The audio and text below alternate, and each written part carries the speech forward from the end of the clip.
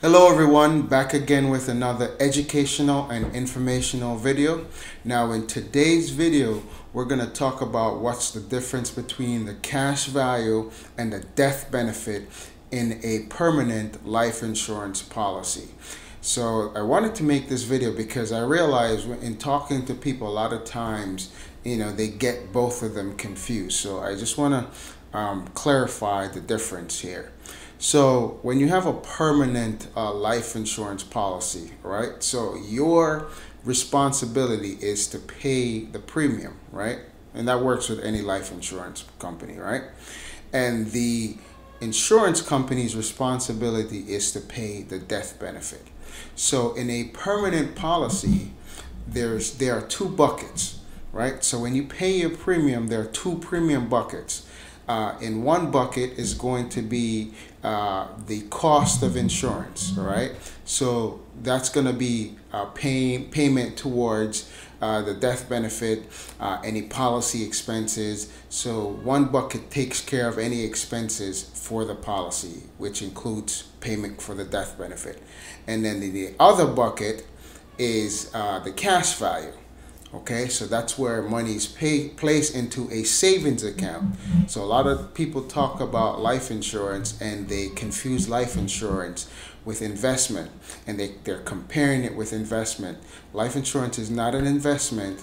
If you're going to compare it with anything, compare it with a bank because that account is a savings account, right? So, so you have one premium bucket for policy expenses and the other bucket is a savings account and that's where the cash value goes.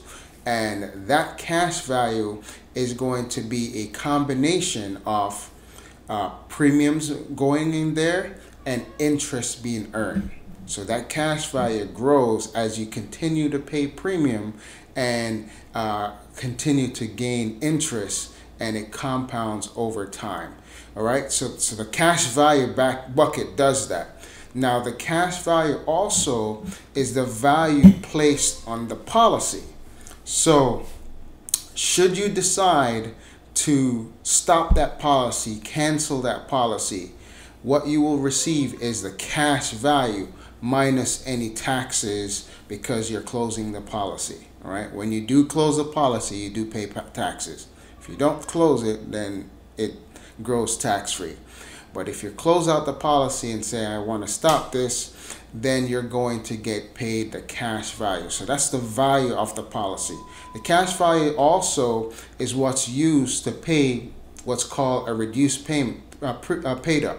So you have that option as well. So uh, when, let's say you pay uh, into the policy for 20 years, but you don't want to pay anymore, and you decide, you know what? I want to stop paying, but I want this policy to continue, you have that option to do reduce pay, paid up. And the value of the cash value that you have there, that's what you'll use to purchase. It's like a single premium life insurance and whatever death benefit you get at that time with that money, that's what it will be. All right. So, um, which which which will be reduced. So the death benefit would be reduced based on that cash value paying up uh, for the entire policy. So that's what the cash value does. It, it does all that. You can also borrow against the cash value. All right. So when you're borrowing against your policy, you're borrowing against what's the cash value, not the death benefit. All right. So uh, you could do that. So there's a lot of different uses for the cash value, right? It's it's growing the money uh, that you put in there uh, with interest added on it. It's what will be used to pay up the policy if you wanted to do that. Uh, it's the value of the policy if you wanted to cancel the policy, right? And that's what you borrow against when you borrow from the policy uh, as as well. Okay. So the death benefit is what would be paid out should you die it's higher than the cash value, right? So the insurance company has to take on a risk, right?